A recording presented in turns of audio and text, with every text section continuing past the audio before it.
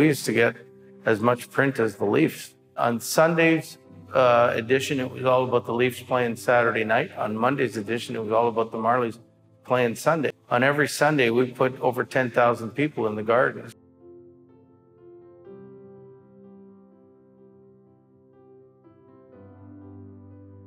When we went in the playoffs, we faced elimination seven times and won all seven games. So adversity wasn't the problem. We were just a bunch of kids. We took everything so lightly. And uh, we, when we bared down, we were pretty good. I would start with George Armstrong. He was such a great coach. Um, we had a lot of talent on the team. I think seven or eight of us made it to the NHL.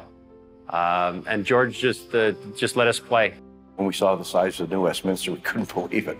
They were like the biggest team in hockey, including pro. And uh, so we were watching the practice, and they're trying to kill each other in practice. Going, Holy smokes, we've got to go out there. And we were not a big team. We were a fast team, and again, very young. You know, we were all 17, 18. So, uh, you know, we were a little nervous. I think they were the biggest team in all of hockey that year. They were a big team. And uh, so it was a little intimidating, and I think we got intimidated the first game we played them. They were a big, strong team. They took it to us. I remember uh, Memorial Cup Day, we go out for a warm up.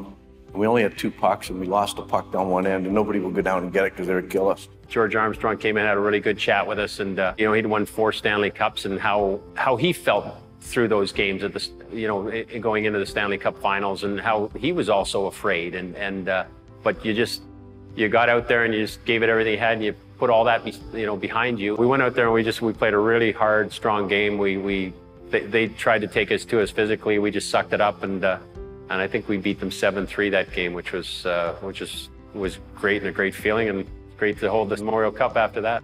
You know, I remember carrying the cup. I remember winning it. And I thought this was supposed to be what you do all the time. I thought this was the way it's supposed to be. You just go out and you win championships every year.